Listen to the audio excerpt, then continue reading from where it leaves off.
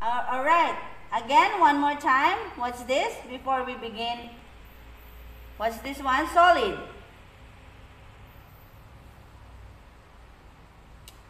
Hello? Solid. Okay, liquid. Gas.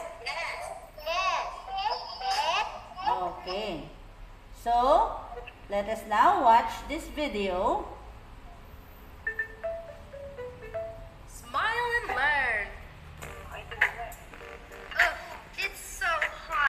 in the freezer like these ones and wait for a while. Really? You don't know what a solid is? It's one of the states of matter.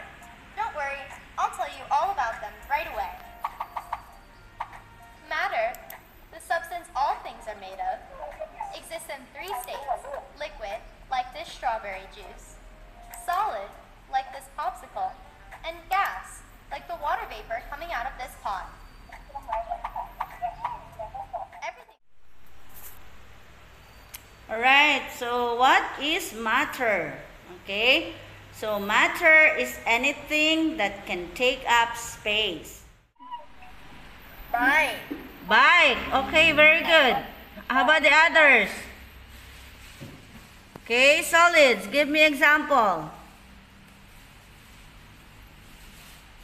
Brick teacher. Brick, very good. Brick, okay, what else? Wall, okay, what else? House. Very good. House is solid, yes? Table. Table, very good. Liquids has no definite shape, has no definite volume. Okay? So these are liquids, right? Milk, water, okay, and juice. This water get the shape of the bottle. This juice get the shape of the pitcher. Okay? Okay, so let us think of the example. Okay, these are another examples of liquids. Okay, so a liquid is a state of matter with a definite volume but no fixed shape. Water. Okay, very good. Water, what else? Okay, so that's cow, right? Okay, number one is juice. So that's liquid. Very good. All right. Okay, next, definite shape and volume.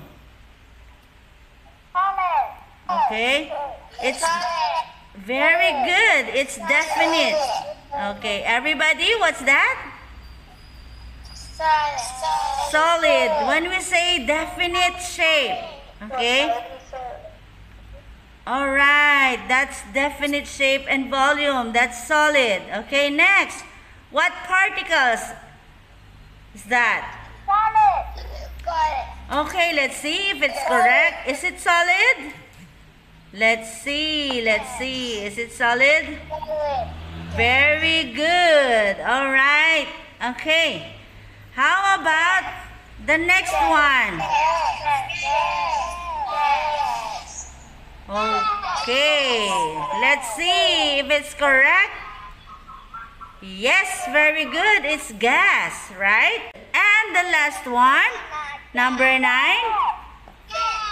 Okay, that's gas. Very good. Okay, let's see if it's gas. All right, so that's our lesson for today solid, liquid, and gas. Okay,